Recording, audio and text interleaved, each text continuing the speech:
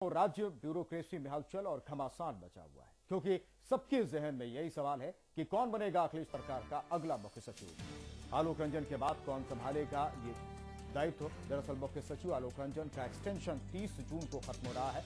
Retirement के बाद सरकार ने इन्हें तीन महीने का एक्सटेंशन दिया था और ऐसे में ब्यूरोक्रेसी में हलचल है कि अब अगला नंबर किसका है? हालाँकि मुख्य सचिव की दौड़ में मुख्यमंत्री की पहली पसंद आईएएस प्रवीण कुमार जो मौजूदा समय में एपीसी यानी कृषि उत्पादन आयुक्त हैं, वहीं शिवपाल यादव और अमर सिंह, दीपक सिंघल के सपोर्ट में प्रमुख सचिव वित्त राहुल भटनागर और राजस्व परिषद के चेयरमैन अनिल कुमार गुप्ता भी इस दौड़ में हैं। तो वहीं दीपक सिंघल के विरोध में मुख्यमंत्री और राम गोपाल हैं।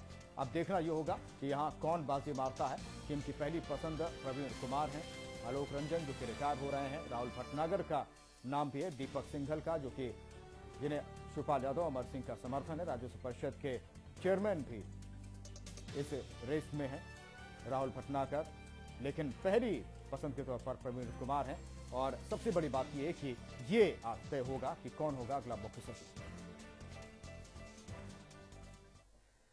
उधर तंजील हत्याकांड में एसटीएफ को बड़ी कामयाबी मिली। तंजील अहमद हत्याकांड का मुख्य आरोपी मुनीर गिरफ़्तार कर लिया गया। मुनीर को आज नोएडा एसटीएफ ने गिरफ़्तार किया। तीन दिन पहले मुनीर के साथी को पुलिस ने गिरफ़्तार किया था और साथी की ही निशानदेही पर मुनीर की यह गिरफ्तारी हुई है। गाजियाबाद के एपीएस कॉलेज के हॉस्टल से गिरफ्तारी हुई है मुनीर की। कॉलेज के हॉस्टल में तीन दिन से छिपकर बैठा था मुनीर। मुनीर के साथ दो और साथी भी गिरफ़्तार कर लिए गए हैं। तंजील की हत्या में इस्तेमाल 9 एम mm की पिस्टल भी इसके पास से बरामद हुई। मुनीर पर था दो लाख रुपए का इनाम और गिरफ्तारी के बाद मुनीर को नोएडा ले जाया गया है। मुनीर से एनआईए समेत कई एजेंसियाँ पूछताछ करने में जुटी हुई है। एक्सक्लूसिव तस्वीरें गिरफ्तारी के बाद की मुनीर की आपके सामने जब उसे गिरफ़्तार किया गया।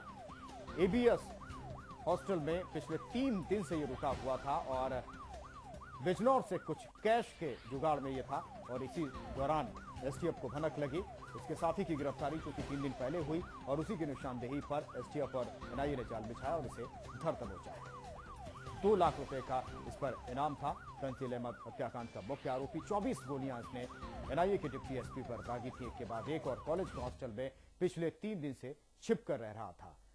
और ये एक्सक्लूसिव तस्वीरें मुनीर की, जिसे गिरफ़्तार कर लिया गया है। और लगातार ये अपनी लोकेशन बदल रहा था। इसके पास से 9 एम की पिस्टल भी बरामद की है। गाजियाबाद के एबीएस कॉलेज को हॉस्टल से इसकी गिरफ्तारी हुई है और एसटीएफ इस बारे में प्रेस कॉन्फ्रेंस कर भी पूरी जानकारी भी देगी। मुनीर के एक साथी को भी एसटीएफ ने गिरफ़्तार किया था, जिसकी निशानदेही पर लगातार जानकारी मिल रही थी कि मुनीर कहाँ पर है और इसके बाद इसे धर दबोचा गया है।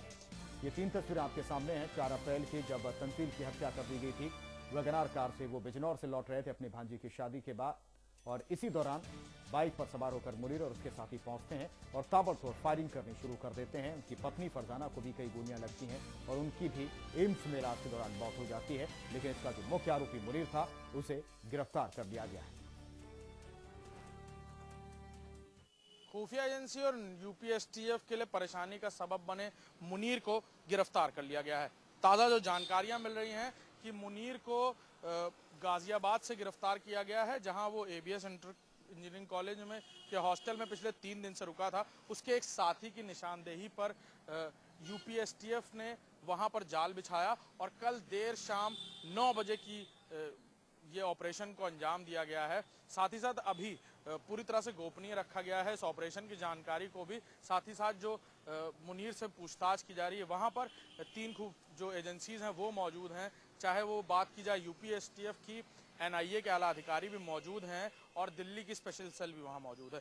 मुनीर ने हाल फ़िलहाल जो ताज़ा जानकारी मिल रही है सोर्सेज से, उनका कहना है कि मुनीर ने कमला नगर में दिल्ली में हुई एटीएम लूट को पूरी तरह से कबूला है किस तरह उसने घटना को अंजाम दिया था। अलीगढ़ में दो बड़ी लूटें उसने की थी तीस तीस लाख रुपए की उसे कबूला है। एक जीआरपी के सिपाही को मार दिया था, उसे उसने कबूला है। साथ ही साथ कई ऐसे मामलों में जिसमें वो मुख्य आरोपी रहा है, उसने पूरी घटनाओं का अनावरण किया है, बताया है कि किस तरह उसने घटनाओं को अंजाम दिया था। उम्मीद की जा रही है कि जल्दी एक बड़ा, बड़ी प्रेस कॉन्फ्रेंस की जाएगी और मुनीर को सामने रखकर इस पूरे घटनाक्रम और किस तरह से तंजील अहमद की उसने हत्या की, इसको मीडिया से साझा किया जाएगा। कैमरामैन अश्विनी सिंह के साथ अभिषेक सिंह लखनऊ समाचार प्लस। तो मुनीर को गाजियाबाद के बीएस इंजीनियरिंग कॉलेज के हॉस्टल से गिरफ़्तार किया गया और यहाँ वो तीन दिन से छिप कर रह रहा था। ये पूरा ऑपरेशन कल देर रात नौ बजे पूरा हुआ। फ़िलहाल मुनीर को नोएडा ले जाया गया है।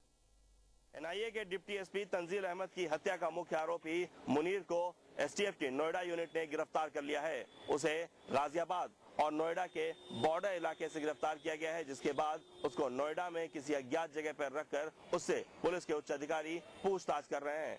खास बात यह है कि मुनीर पिछले तीन दिनों से गाजियाबाद के एबीएस कॉलेज में एक हॉस्टल में अपने दोस्त के रूम पर रह रहा था।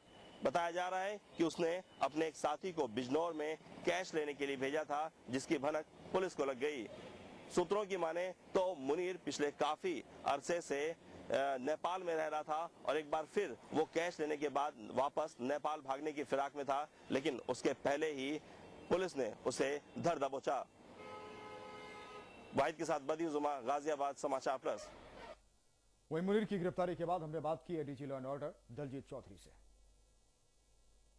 एनआईए के अधिकारी तंजील अहमद के हत्याकांड के मुख्य आरोपी और लगातार खुफिया एजेंसी और यूपीएसटीएफ के लिए भी परेशानी के सबब बने मुनीर को गिरफ़्तार कर लिया गया है। इस मामले में जानकारी देने के लिए हमारे साथ एडीजी कानून व्यवस्था दलजीत सिंह चौधरी साहब हैं, उनसे बात करेंगे। सर, मुनीर आखिरकार हत्या चढ़ गया है आप लोगों के। कितना मुश्किल था उसे पकड़ना क्योंकि वो मोबाइल फ़ोन नहीं यूज़ करता था। खासी उसको ट्रैकिंग की भी जानकारी थी, किस तरह ट्रैक किया जाता। निश्चित रूप से आज के टाइम में उत्तर प्रदेश का सबसे शातिर बदमाश वही था। उसके ऊपर दो लाख रुपए का इनाम भी था। और कई सारी डिस्ट्रिक्ट से उसकी तलाश जारी थी इंक्लूडिंग दिल्ली पुलिस भी उसकी तलाश कर रही थी। वो आज गिरफ़्तार हुआ है नोएडा एसटीएफ टीम ने उसको गिरफ़्तार किया है और एक ये बड़ी कामयाबी है और अच्छी बरामदगियाँ भी हम उम्मीद करते हैं कि बहुत जल्दी होंगी, कुछ हथियार भी मिले हैं और निश्चित रूप से भी पूछताछ जारी है और भी चीज़ें में प्रकाश में आने पर कार्रवाई करेंगे।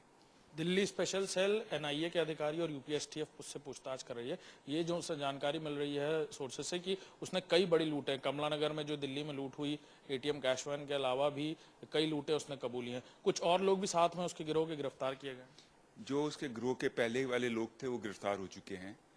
यही शेष था। अभी इसके खुलासे में और क्या क्या नए लोग आते हैं कहाँ कहाँ इसके शेल्टर्स थे कहाँ कहाँ कॉन्स्परेसी करता था। वो सब चीज़ें वो प्रकाश में आएँगी। निश्चित रूप से उनके खिलाफ सब कार्रवाई की जाएगी। सर नेपाल से भी तार जोड़ के देखे जा रहे हैं कुछ इंटरनेशनल गैंग से भी संपर्क हो गया। नेपाल से कुछ ऐसे मज़बूत हमारे पास एविडेंस उसके हमारे पास नहीं है लेकिन उसके कुछ साथी नेपाल में थे और अभी हाल फ़िलहाल में कुछ यहाँ गिरफ़्तार भी किए गए हैं जो नेपाल में जाते रहते थे। तंजील अहमद की हत्या में इस्तेमाल नाइन एम भी उसके पास से बरामद वो नाइन एम पिस्टल बरामद हो चुकी है और उसके अलावा दो रिवॉल्वर भी बरामद हुए हैं। इसमें वो वेपन भी इंक्लूडेड है, जिस, जो, जिसमें उसने एक जीआरपी के कांस्टेबल की हत्या करने के बाद उसको लूटा था। वो सब चीज़ें बरामद हो चुकी हैं। अभी पूछताछ जारी है। निश्चित रूप से आगे भी कुछ अच्छे खुलासे होंगे। लगातार मुनीर से पूछताछ जारी है। दिल्ली की स्पेशल सेल एनआईए के अधिकारी वहाँ मौजूद हैं और लगातार उससे पूछताछ की जा रही है। कयासे लगाई जा रही है कि कई एक बड़े घटना कांडों के बारे में वो जानकारी दे सकता है। कैमरामैन अश्विनी सिंह के साथ अभिषेक सिंह, लखनऊ, समाचार प्लस। और मुनीर ने जो खुलासे किए हैं वो हम आपको बताते हैं कि पुलिस की पूछताछ में मुनीर ने ये खुलासे किए हैं कि उसने कई जगह लूट की बड़ी वारदातों को अंजाम दिया है। इनमें दिल्ली के कमला नगर में करोड़ों की एटीएम लूट में वो शामिल था। लूट के दौरान मुनीर ने गार्ड को गोली मार दी थी और अलीगढ़ में तीस तीस लाख के दो लूट को भी उसने अंजाम दिया था। जीआरपी की सिपाही की गोली मारकर उसने हत्या की थी और जब हत्या की इसके बाद से ही वो हथियार अब पुलिस ने बरामद किया है। इसी का इस्तेमाल उसने जीआरपी के सिपाही की हत्या करने में किया था और उस पिस्टल को भी एसटीएफ ने जब्त किया है। और कौन है ये मुनीर, हम आपको बताते हैं, सहसपुर के सिरो सिहोरा का रहने वाला है। 2013 में अलीगढ़ पहुँचा था मुनीर। 2013 में ही इसके खिलाफ ज़मीन कब्जाने का मुकदमा दर्ज हुआ। अलीगढ़ मुस्लिम यूनिवर्सिटी के छात्रों के बीच मुनीर का खौफ था। एएमयू के छात्र आलमगीर की हत्या के बाद ये चर्चा में आया। मुनीर ने रेलवे मजिस्ट्रेट के गनर की पिस्टल भी लूटी और उसी पिस्टल से तंजीर अहमद की हत्या की आशंका है। लगातार इससे पूछताछ की जा रही है और एक के बाद एक कई खुलासे हो रहे हैं।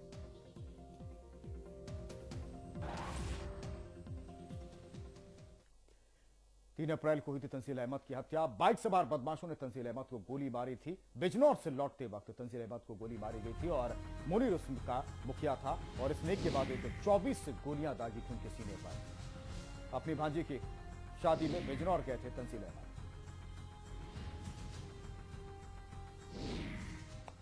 और कौमी एकता दल की प्रेस कॉन्फ्रेंस में आपको सीधे लिए चलते हैं। किया जा रहा है। बेलगाम अपराधियों ने आम जनता का जीना दूभर कर दिया।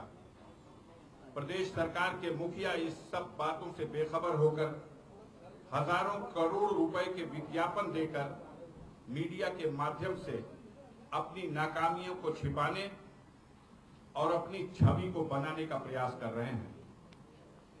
भारतीय जनता पार्टी के लोग उत्तर प्रदेश के इस वातावरण को अपने अनुकूल बनाने के प्रयास में जुटे हैं। किंतु मैं आज आपके, आप सबके माध्यम से ये बताना चाहता हूँ कि चूँकि कांग्रेस के विफल शासन से देश की जनता उग चुकी थी, इसलिए केंद्र की सरकार के चुनाव या उससे पहले या उसके बाद के चुनावों में, जहाँ कहीं भी कांग्रेस पार्टी की सरकार और व्यवस्था के खिलाफ चुनाव हुए, वहाँ भारतीय जनता पार्टी को सफलता मिली। किंतु इसके ठीक विपरीत जिन प्रांतों में क्षेत्रीय दलों से भारतीय जनता पार्टी को लड़ना पड़ा, उन्हें नाकामी हासिल हुई। इसके स्पष्ट उदाहरण है, हरियाणा की सरकार कांग्रेस के खिलाफ लड़ाई थी, भाजपा जीती। महाराष्ट्र में कांग्रेस के खिलाफ लड़ाई थी, भाजपा को जीत हासिल हुई। अभी आसाम में कांग्रेस के खिलाफ लड़ाई थी, इसलिए भाजपा को जीत हासिल हुई। लेकिन ठीक इसके विपरीत, तमिलनाडु में जब वहाँ क्षेत्रीय दल से मुकाबला हुआ तो भाजपा विफल रही और क्षेत्रीय दल सफल रहे। पश्चिम बंगाल में यही स्थिति और बिहार में भी मोदी को करारी शिकस्त का सामना करना पड़ा। उत्तर प्रदेश के हालात ऐसे ही हैं। यहाँ कांग्रेस का कोई अस्तित्व नहीं। इसलिए भारतीय जनता पार्टी को सपा और बसपा जैसे क्षेत्रीय दलों से इस चुनाव में मुकाबला करना है। अब अपनी नाकामियों को छुपाने के लिए केंद्र की विफल सरकार और प्रदेश की विफल सरकार के मुखिया इन दोनों मिली, की मिली भगत से अपने अपने फ़ायदे में उत्तर प्रदेश के वातावरण को खराब करने का प्रयास किया जा रहा है। और अनकरीब और अनकरीब त्योहारों के अवसरों पर बड़े पैमाने पर सांप्रदायिक दंगे भड़काने की योजना है। साथियों, इस क्रम में मैं जो इन दिनों विषय चर्चा में आया उसकी ओर भी आपका ध्यान आकर्षित करते हुए अपने देश और प्रदेश की जनता के सामने अपनी पार्टी का, अपने दल का पक्ष रखना चाहता हूँ।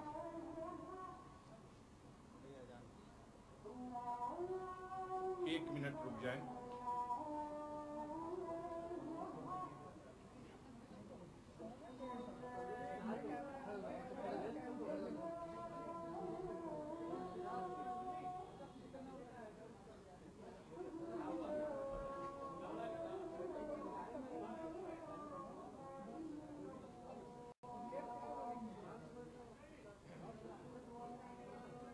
अखिलेश यादव पर और कहा कि यूपी में लूट मची है। अफजाल अंसारी बोल रहे थे। अफजाल अंसारी की ये प्रेस कॉन्फ्रेंस। विलय टूटने के बाद कौमी एकता दल समाजवादी पार्टी पर भड़कती दिख रही है, सरकार पर भड़कती दिख रही है, बीजेपी को भी उसने निशाने पर लिया और सीधे तौर पर कहा कि गुंडों का राज यूपी में है। सवाल यह है कि क्या जब विलय हो रहा था, तब अफजाल अंसारी को यह पता नहीं था। क्या अफजाल अंसारी, जिनका विलय नहीं हो पाया और इसके बाद उन्होंने सुर बदला, रास्ता बदला और यूपी सरकार को कोसने के लिए उन्होंने प्रेस कॉन्फ्रेंस बुलाई। अफजाल अंसारी की प्रेस कॉन्फ्रेंस, जिसमें कौमी एकता दल ने समाजवादी पार्टी को भारतीय जनता पार्टी पर जमकर हमला बोला और कहा कि यूपी में लूट मची हुई है, यहाँ पर गुंडों का राज है। विलय टूटने के बाद ही कौमी कौमी एकता दल ने यह प्रेस कॉन्फ्रेंस की है। क्या विलय करते समय अफजाल अंसारी को कुछ नहीं पता था? क्या विलय के समय अफजाल अंसारी ये मानने को तैयार थे कि सब कुछ ठीक है, सरकार बेहतर काम कर रही है। सवाल यह भी है कि ये अवसरवादिता की राजनीति नहीं तो क्या? है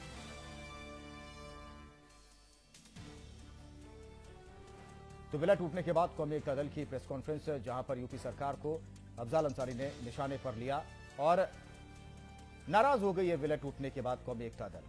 खींच गई है और इसी वजह से भड़ास निकाल रही है प्रेस कॉन्फ्रेंस के ज़रिए और यूपी सरकार पर निशाना उसने साधा है।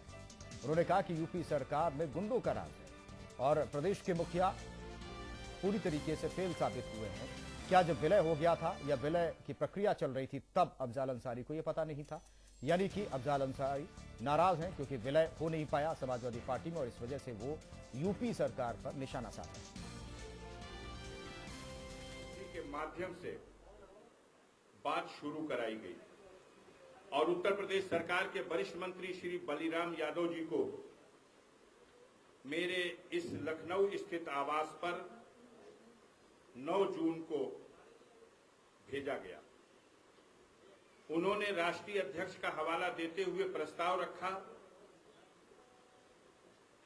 और माननीय शिवपाल यादव जी से भी वार्ता कराई।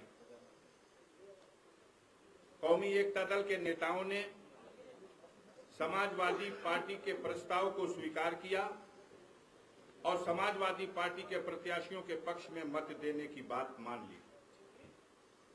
इस क्रम में 10 जून को मेरी मुलाकात शिवपाल यादव जी से भी कराई गई। पुनः 11 जून को माननीय मुलायम सिंह यादव जी के बुलावे पर मैं अपने बड़े भाई शिवकतुल्ला अंसारी विधायक के साथ उनके आवास पर गया। जहाँ माननीय नेताजी ने सर्वप्रथम मतदान में समर्थन करने के लिए हम लोगों को धन्यवाद दिया और फिर भूली बिसरी यादों का ज़िक्र करते हुए हम दोनों भाइयों से कहा कि समाजवादी पार्टी के चुनाव निशान से तुम दोनों विधायक पहले चुने जा चुके हो। संसद के सदस्य भी चुने गए। फिर हम लोग बिछड़ गए थे। अब देश और प्रदेश के सामने बड़ी चुनौतियाँ हैं। सांप्रदायिक ताकतों को रोकने के लिए 2017 के चुनाव में मतों का विभाजन न हो, इसलिए अत्यंत आवश्यक हो गया है। हमारी पार्टी के सभी नेतागण भी और हमारे परिवार के सभी सदस्य भी यह चाहते हैं कौमी एकता दल को सपा के साथ मिलाया जाए। पिछले लोकसभा चुनाव के समय इस तरह की वार्ता चली थी और सपा और बसपा, सपा और कौमी एकता दल के शुभचिंतकों ने यह बात तो चलाई लेकिन अंजाम तक नहीं पहुँच सकी, जिसके फलस्वरूप गाजीपुर संसदीय क्षेत्र, बलिया संसदीय क्षेत्र और घोसी लोकसभा क्षेत्र में हमारे प्रत्याशी और कौमी एकता दल के प्रत्याशी के बीच में जो मतों का विभाजन हुआ उसी के कारण भाजपा इन सीटों को जीत सकी। इसलिए 2017 के चुनाव को दृष्टि में रखकर सांप्रदायिक शक्तियों को जो प्रदेश का वातावरण खराब करने के प्रयास में हैं, उनको रोकने के उद्देश्य से आप अपने सभी साथियों के साथ अपने पुराने समाजवादी पार्टी में लौट आइए। और अपने कौमी एकता दल को सपा में विलय कर दीजिए मैंने उनसे एक सप्ताह का समय मांगा ताकि अपने पार्टी के नेताओं और साथियों को भी विश्वास में लेकर अगला कदम उठा सकूँ। इस क्रम में 21 जून को श्री शिवपाल यादव जी ने माननीय मुलायम सिंह यादव के आदेश पर समाजवादी पार्टी के मुख्यालय में कौमी एकता दल के पदाधिकारियों की सूची के साम, को प्रेस के सामने पढ़कर उन्हें समाजवादी पार्टी में शामिल करने का ऐलान कर दिया। अचानक एक चैनल पर खबर प्रसारित की जाने लगी कि मुख्यमंत्री अखिलेश यादव कौमी एकता दल व सपा के इस मिलन की कार्रवाई को गलत मानते हैं और कैबिनेट मंत्री बलराम यादव को सदा के तौर पर मंत्रिमंडल से बर्खास्त कर दिया गया है। फिर 25 जून को समाजवादी पार्टी के संसदीय बोर्ड की बैठक में इस प्रकरण का निस्तारण इस प्रकार किया गया कि माननीय अखिलेश यादव जी के हट को स्वीकार करके माननीय मुलायम सिंह जी ने स्वयं अपने आदेश व निर्देश से उत्तर प्रदेश के चुनाव प्रभारी, अपने छोटे भाई शिवपाल यादव द्वारा मीडिया जगत के सामने घोषित कौमी एकता दल और सपा के विलय किए जाने के फैसले को रद्द कर दिया। ऐसे ही धोखे, ऐसे ही धोखा देने का एक और निर्णय इसके पूर्व भी तब लिया गया था, जब यादव सिंह के प्रकरण में देश की जनता के, यादव सिंह का प्रकरण देश की जनता के समक्ष उजागर हो गया। उसके बाद प्रदेश सरकार भ्रष्टाचार के कटघरे में खड़ी हो गई। तब इस प्रकरण को दबाने के लिए उत्तर प्रदेश सरकार की सारी कोशिशें नाकाम हो गई। और माननीय उच्च न्यायालय ने इस प्रकरण की जाँच सीबीआई को सौंपने का आदेश कर दिया।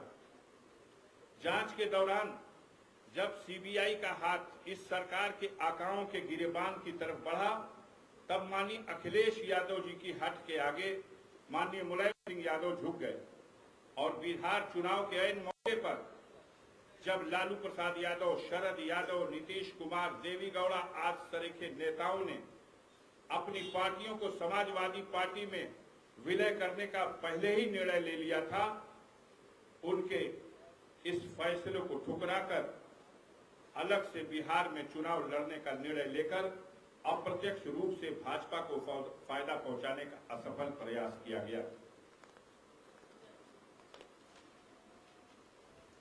किसी भी परिवार या किसी भी पार्टी या किसी भी संगठन के महत्व पदाधिकारियों का यह कर्तव्य होता है कि अपने आदर्श और अपने दृष्टिकोण सर्वप्रथम अपने परिवार के सदस्यों और अपनी पार्टी या अपने संगठन के मुख्य लोगों को बताकर उसी के अनुसार आचरण करने की सहमति बनाएँ और तब समाज के सामने या मीडिया में अपना बखान करें।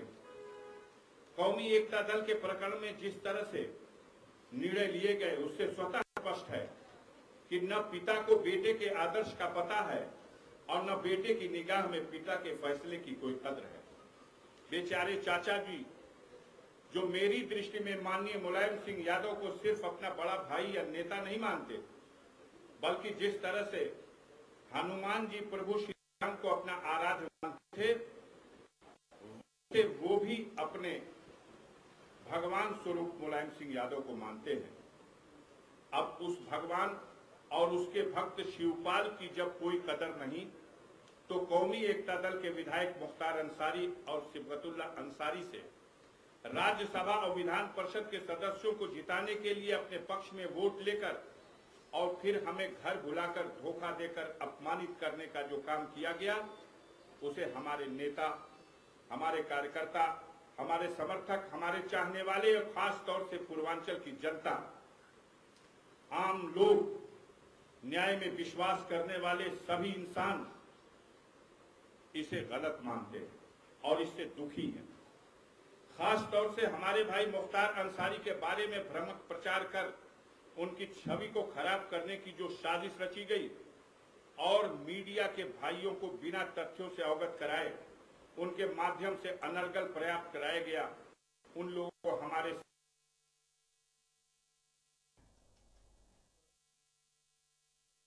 तो अखिलेश सरकार पर जमकर बरस रहे हैं। उसे धोखे का भी ज़िक्र कर रहे हैं कि किस तरीके से राज्यसभा के चुनाव में उनसे वोट लिया गया और फिर धोखा दिया गया। उन्होंने बिहार में गठबंधन का भी ज़िक्र किया और कहा कि अखिलेश यादव के हट के आगे मुलायम सिंह को झुकना पड़ा और एक एक करके डेट भी बता रहे हैं अफजार अंसारी। लेकिन सवाल यह है कि अब सिर्फ़ और सिर्फ़ निराशा में वो क्या आरोप लगा रहे हैं?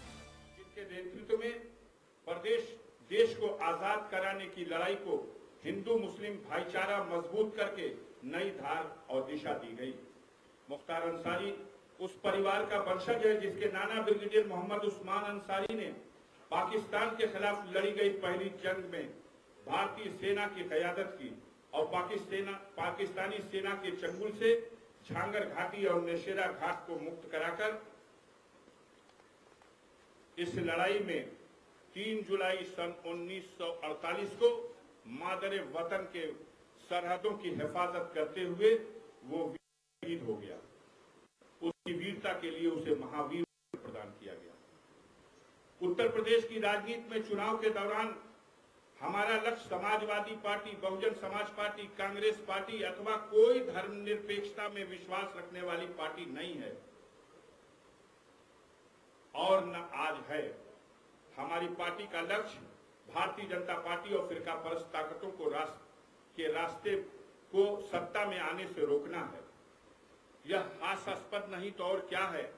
युवा मुख्यमंत्री का लक्ष्य प्रदेश में नफरत फैलाने वाली ताकतों हौसला बुलंद अपराधियों सत्ता से जुड़े हुए भ्रष्टाचारियों बेलगाम नौकरशाहों लूट खसूत और कमीशन खोरी लिप्त भ्रष्ट अधिकारियों तथा सत्ता का ध्वंस कर गाँव में गरीबों को सताने वाले सामंतवादियों और पिछले चुनाव के समय जनता का वोट हासिल करने के लिए किए गए उन लुभावने वादों को, जो अब तक पूरा नहीं किए गए, एवं बिजली, पानी, सड़क, गिरती हुई कानून व्यवस्था, कमर तोड़ महँगाई तथा किसानों की दुर्दशा को सुधारने की दिशा में कोई सार्थक प्रयास न होकर मात्र कौमी एकता दल और लाखों दिलों की धड़कन लोकप्रिय विधायक मुख्तार अंसारी को निशाना बनाकर कट्टरपंथी ताकतों का समर्थन हासिल करने का प्रयास किया जा रहा है। बहरहाल, इंसान ठोकरें खाकर भी कुछ सीखता है। इस घटनाक्रम के बाद 8 जुलाई को हमारी पार्टी का एक सम्मेलन आहूत किया जा रहा है। विस्तृत रणनीति उसी सम्मेलन में बैठकर हमारे साथी तय करेंगे। फ़िलहाल समान विचारधारा वाले दलों से वार्ता की जाएगी और पूर्वांचल में फिरका परस्त ताकतों को रोकने और इस अहंकारी मुख्यमंत्री को जनता से किए गए वादों को पूरा न कर पाने के एवज खास तौर से पूर्वांचल में सबक सिखाया जाएगा। धन्यवाद। यदि किसी साथी को कोई प्रश्न करने हैं तो बारी बारी से कर लीजिए, मैं उत्तर दूँगा।